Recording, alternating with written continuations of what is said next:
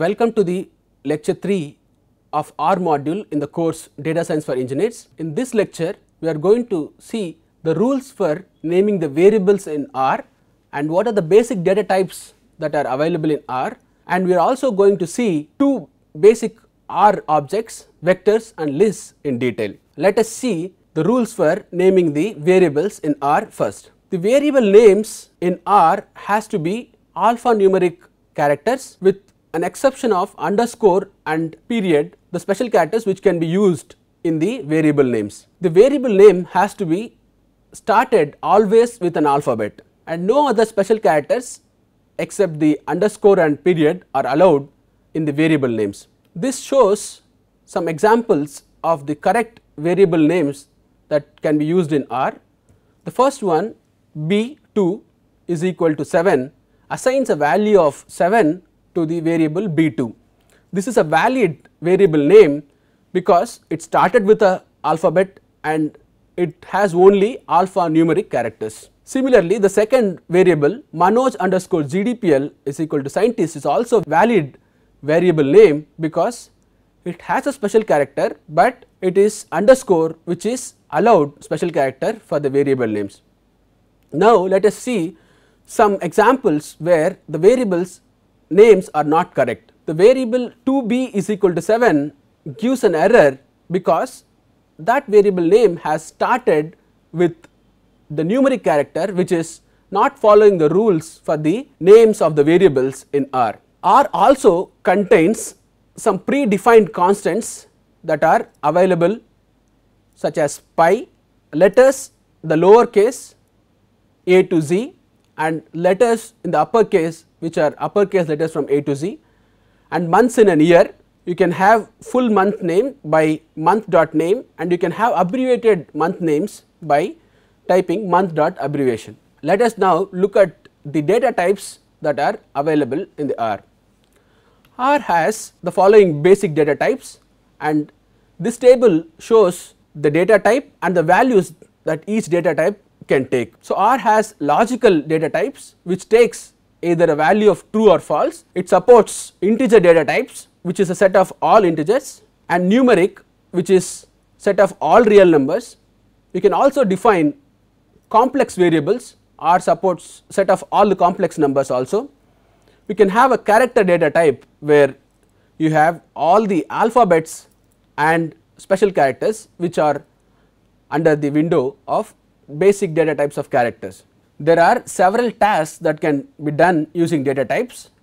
The following table gives you the task, action and the syntax for doing the task. For example, the first task is to find the data type of the object. To find the data type object, you have to use type of function.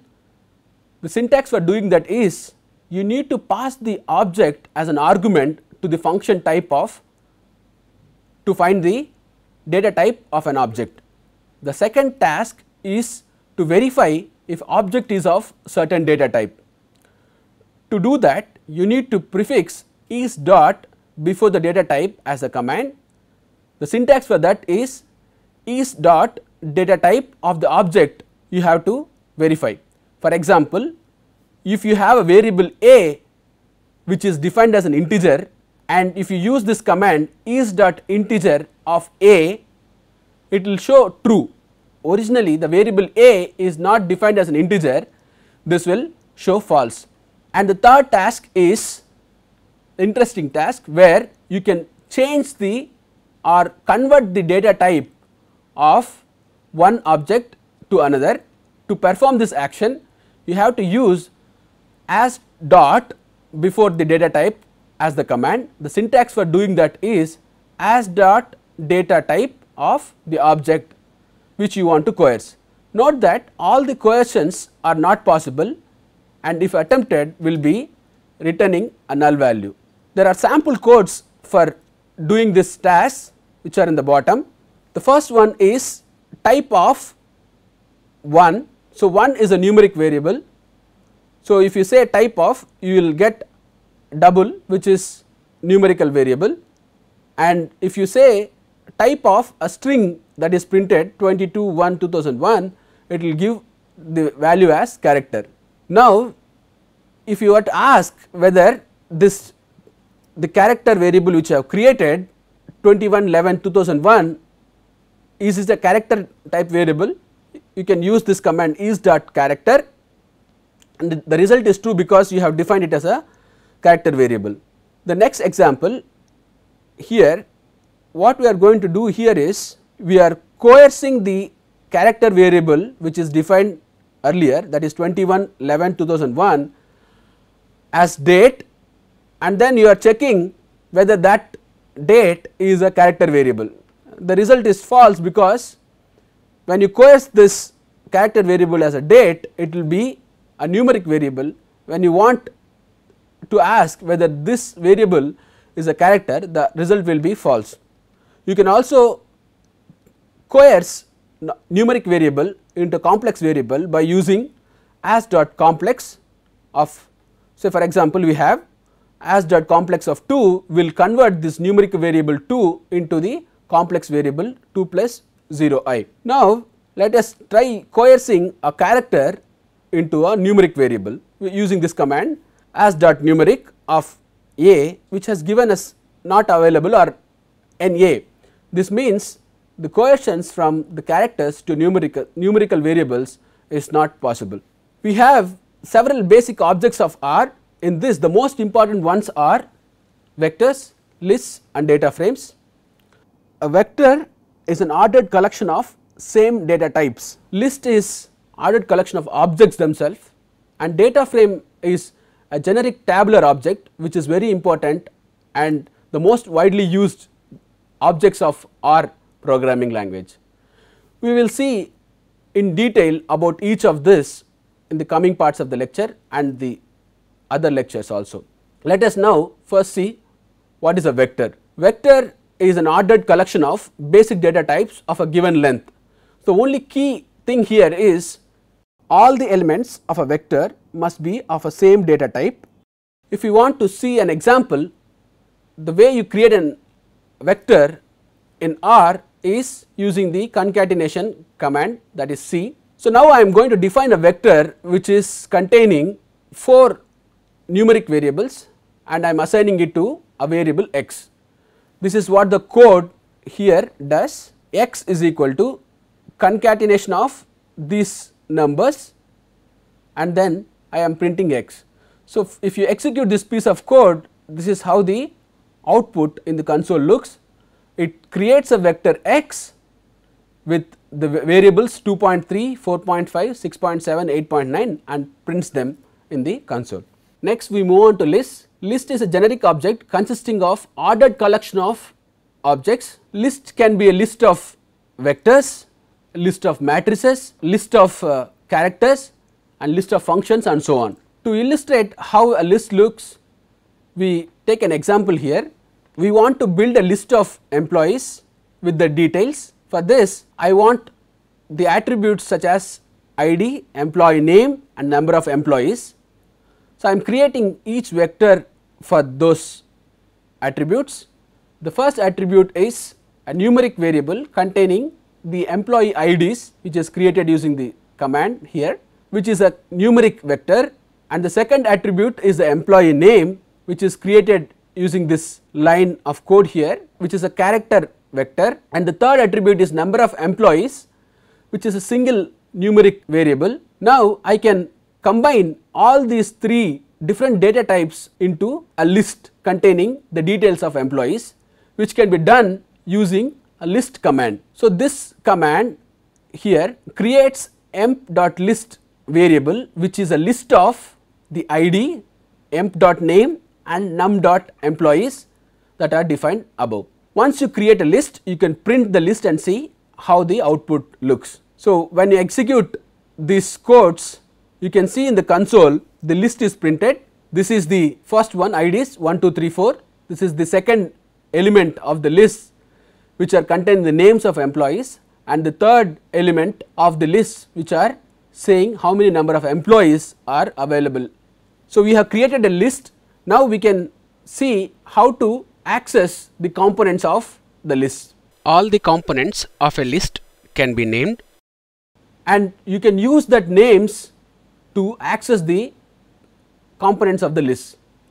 For example, this is the same list we have created, we can use the same ID m dot name and m dot employee instead of directly creating a list you can also give the names for these attributes as ID, names of employees and the total staff as shown in the code here. Once you execute this code you can see now that a list is created and if you want to access this element of the list you can do that by using the dollar command m dot list is the list and you want to access the component with the name names. So, when you use this command and print the result you can see the names of the employees that are printed. You can also access the components of the list using indices. To access the top level components of a list you have to use double slicing operator which is two square brackets and if you want to access the lower or inner level components of a list you have to use another square bracket along with the double slicing operator. The course here illustrates how to access the top level components. For example, I want to access the IDs, I can use print m dot list and this is the double slicing operator which will give me the first level which is ID.